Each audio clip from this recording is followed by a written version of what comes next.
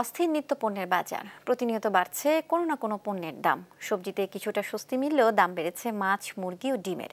যেখানে ডিমের ডজনে বেড়েছে পনেরো থেকে বিশ টাকা, আর এক কেজির ইলিশ মাছ বিক্রি হচ্ছে এক হাজার তিনশো টাকায়। নিত্যপণ্যের এমন দাম বাড়ায় হিসেব মেলাতে বিপাকে সাধারণ মানুষ। রাজধানীর কারণ বাজার ঘুরে আরও জানাচ্ছেন শেখ তরিকুল ইসলাম।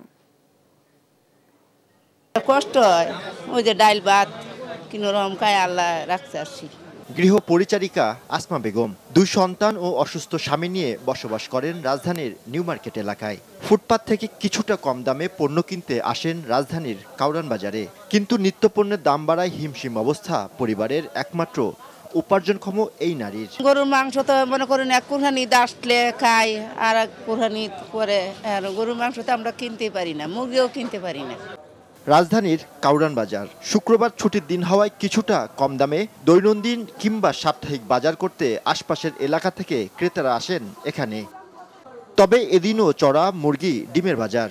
সপ্তাহের ব্যবধানে যেখানে ডিমের ডজন প্রতি বেড়েছে বিশ টাকা, আর মুরগির দাম বেড়েছে কেজি প্রতি প্রায় দশ থেকে পনেরো টাকা। আপনার ষাট টাকা, সত্তর টাকা বেড়ে গেছে। বর্তমান আপনি বেতন লাগতেছে, সাদাটা হইল তিনশো টাকা লাল হইল তিনশো দশ টাকা। যে আগামী সপ্তাহ থেকে এখন এই সপ্তাহে প্রায় দশ পনেরো টাকা করে বাড়ছে। চাহিদা হিসেবে তো নিতে পারছি না কারণ ইনকাম হিসেবে জিনিসপত্রের দাম এত বেড়েছে যে আমরা আগের মতো ঠিক নিতে পারছি না। স্বস্তি নেই মাছের বাজারে। সাধারণের নাগালের বাইরে রূপালী ইলিশ দেশি মাছের বাজারও বেশ চড়া।